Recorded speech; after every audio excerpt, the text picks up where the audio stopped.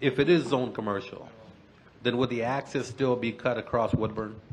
Yes, Mr. Mayor, members of the council, we would expect, and I add my voice to engineering, access onto Woodburn would always have been anticipated. Okay. Regardless of the use of this site. Thank you. One of our concerns is on the western access, where that lines up with that existing median break.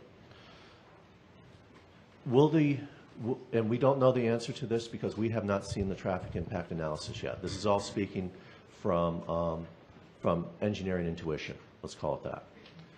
Um, That intersection may or may not warrant a signal, depending on the volume and safety aspects. There's several aspects that, that warrant a signal.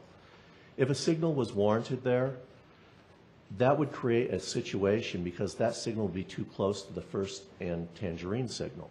So there's a safety concern there.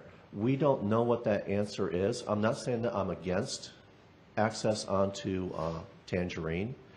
Presently, I don't know if ADOT will allow it. They haven't so far. Uh, Mr. Olin has stated that they're almost there. Um, When they get there, then they're there. Uh, But presently today, as we, as we sit here, it's not allowed. If it does get allowed, and we do have that full access, one of my concerns, again, as, as your engineer, is whether a traffic signal would be warranted there. Would there be enough safety concern? Darting all the way across Tangerine, it's, it's an issue. Um, With regard to Woodburn, again, Woodburn was always designed to have the capacity of not only the, not only a commercial site here, but an entire apartment complex to the north. It's always been designed. The, the capacity is there from a engineering and a theoretical standpoint. However, and I think the residents, every resident here can attest to it, I've been, I've driven on Woodburn many a time. Um, There is a congestion problem there, but a lot of that congestion problem has to do with the configuration of the intersection. If that were cleaned up, if Woodburn was actually widened, and again, this would fall on the, on the traffic analysis that the developer would be responsible to do, they would have to mitigate whatever traffic concerns there are.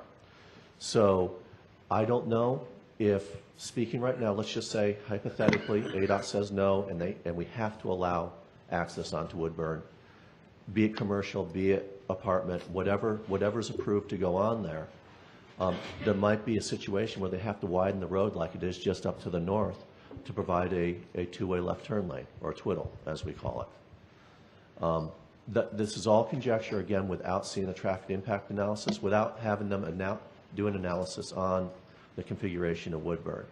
However, moving the intersection south would clean up a lot of issues, and we look at it from a regional standpoint. Now, I would like to make one clarification for, again, for the audience.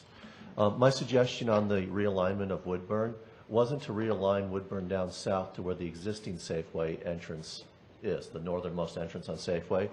The realignment I'm talking about is about approximately 30 feet, so that a road could be constructed or a drive aisle through the vacant parcel to connect to Safeway, and then limit that existing Safeway to a right-in, right-out. it will be developed. Now, from that perspective, we have to say, when it's developed, what are the legitimate issues? Okay, one definite legitimate issue that's been brought up today is traffic.